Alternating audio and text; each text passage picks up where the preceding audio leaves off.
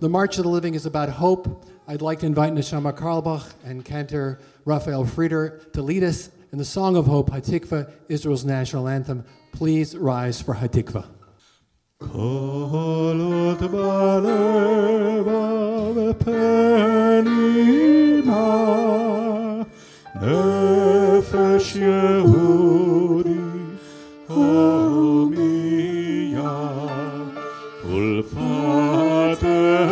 Mizrach Kadima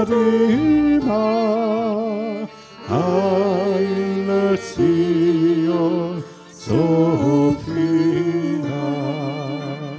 Olelai